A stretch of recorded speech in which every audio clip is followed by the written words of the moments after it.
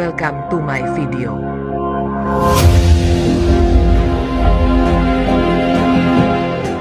Now, this chapter.